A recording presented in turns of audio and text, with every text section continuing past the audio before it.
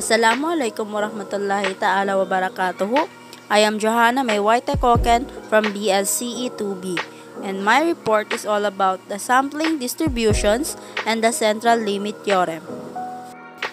Before we proceed to the main topic, let me discuss first what is sampling distribution. Sampling distribution is the probability distribution of a sample statistic when samples of size n are taken randomly from the population repeatedly. Typically, a simple random sample is used.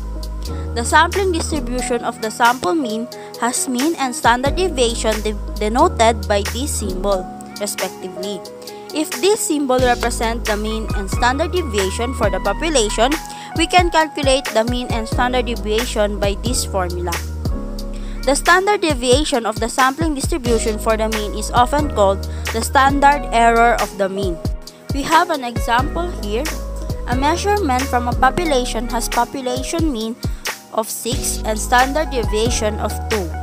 What are the mean and standard error of the sample mean when n is equal to 4, when n is equal to 100, and when n is equal to 400? We have the solution here. For all sample sizes, the mean is equals to 6. And for the standard error, we can use the formula of the standard deviation. For n is equals to 40, the standard error is equals to 1. And for n is equals to 100, the standard error is equals to 0.2.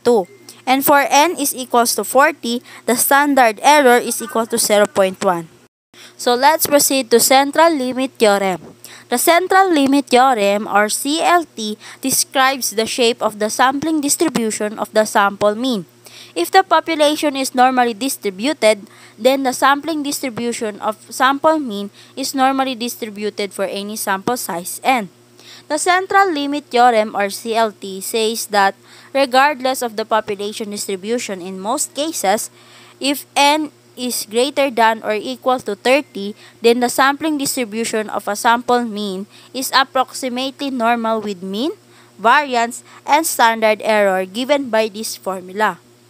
The larger n is, the better the approximation will be.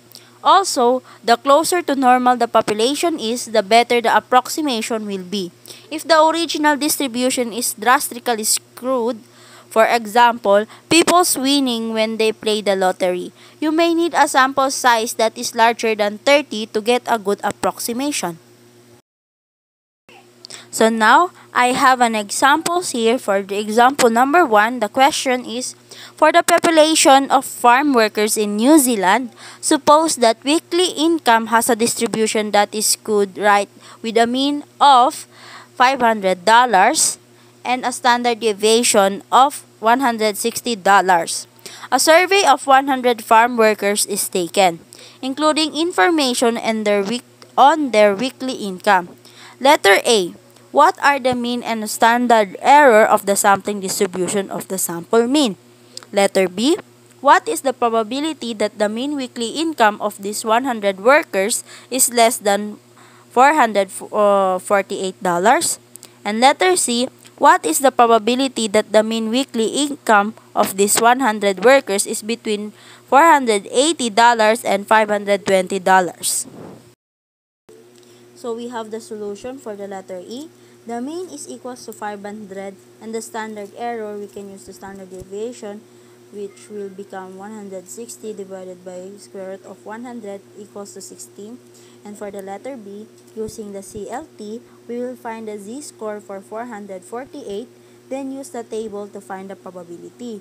So, as you can see in the formula, and the total is 0.0006. And for the letter C, we can also use the CLT and find the z-score for the 100 workers that is between $480 and $520. We have here the answer which is 0.8944 minus 0.1056 equals to 0.7888. And that's all for my report which is the sampling distribution and the central limit theorem. Thank you for watching.